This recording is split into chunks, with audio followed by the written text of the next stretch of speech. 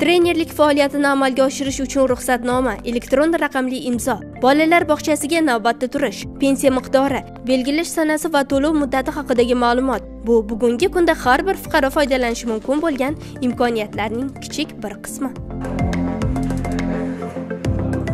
Davlatimizda elektron hukumatni joriy qilishning asosiy instrumenti elektron hukumat va raqamli iqtisodiyot loyihalarini boshqarish markazi. U davlat xizmatlaridan foydalanishda aholi davlat va biznesning ochiq va tushunarli o'zaro faoliyatini ta'minlash fuqarolar va tadbirkorlik subyektlari uchun qulaylik yaratish korrupsion omilni pasaytirishga mo'ljallangan.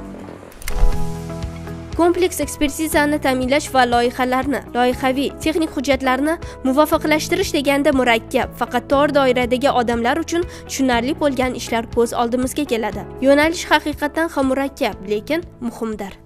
Наша основная задача asosiy vazifamiz buyurtmachilarga ya'ni davlat organlariga yaxshi sifatli texnik hujjatlarni shakllantirishda yordam berishdan iborat. Ushbu hujjatlar asosida yaxshi talabgir elektron tizimlar dasturiy mahsulotlar va ma'lumotlar bazalari barpo etiladi.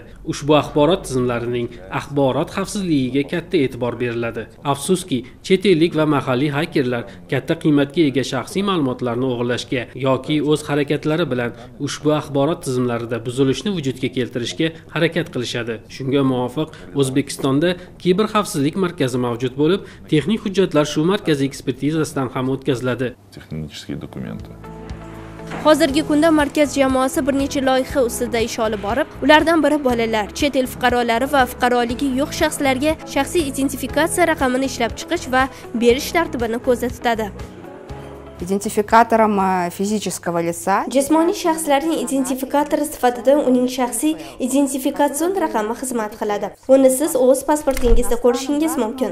Chet el fuqarolar va fuqaroligi yo'q shaxslarga ham elektron davlat xizmatlarini ko'rsatish imkoniyati paydo bo'ladi. Hozirgi kunda buning iloji yo'q chunki ma'lumotlar bazasida ularning shaxsiy identifikatsion raqami mavjud emas. Ushbu chora tadbirlar amaliyotga tatbiq qilinganidan so'ng ular ham davlat xizmatlaridan to'siqsiz foydalana oladilar электронными государственными услугами Rasmiy ma'lumotlarga ko'ra davlat xizmatlari yagona portaliga kelib tushgan arizalarning soni 14 milliondan ortiqni tashkil qiladi. Mygouz yagona interaktiv davlat xizmatlari portalida 18 ta yo'nalish bo'yicha 177 ta davlat xizmatlari ko'rsatiladi. Markaz yangi loyiha va xizmatlar ustida ish olib bormoqda. Asosiysi ulardan har biri fuqarolarimiz yaqin kelajakda esa chet el fuqarolarining masalalarini hal qilishda o'z o'rnini topishdadir.